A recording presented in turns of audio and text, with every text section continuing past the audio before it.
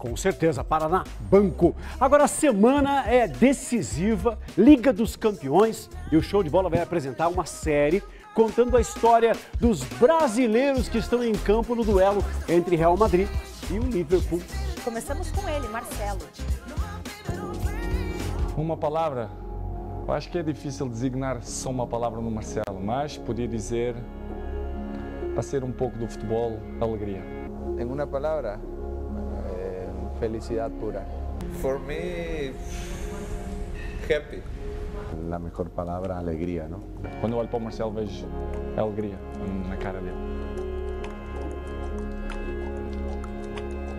Uma sola, alegria. Alegria total.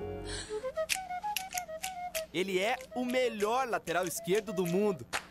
É também um vitorioso. Em 10 anos de Real Madrid, ele conquistou três Ligas dos Campeões, três Mundiais de Clubes, quatro taças do Campeonato Espanhol e ainda duas Copas do Rei. 10 anos, nem parece que passou tanto tempo. Carioca da Gema teve que andar alguns quilômetros para ir atrás do sonho de se tornar jogador profissional. Foi em Xerém, bairro de Duque de Caxias, que Marcelo passou alguns anos da vida, na base do Fluminense. E de lá, direto para Madrid. A chegada foi discreta, até porque o Real Madrid vivia a era dos Galácticos e a lateral esquerda já tinha um dono. Roberto Carlos ficou 11 anos no Real, marca que em breve deve ser igualada e quem sabe ultrapassada por Marcelo, o melhor lateral esquerdo do mundo, o mais sangue bom dos laterais esquerdos. Esse escudo é forte demais!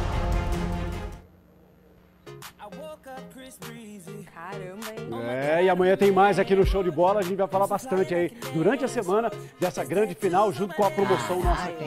Eu vou Amanhã tem- trazer uma reportagem especial do Kleber e do Lúcio Gonzalez também. Ah, que bacana. Se prepara pra Kleber. Tudo, toda a história deles, toda, como que eles conquistaram o lugar ao sol. Entendi. Me avisa Ah, amanhã, pra eu não talvez. vir, tá bom? Não é por causa dos caras, não, é por causa de você mesmo. Por causa de ter. Tá.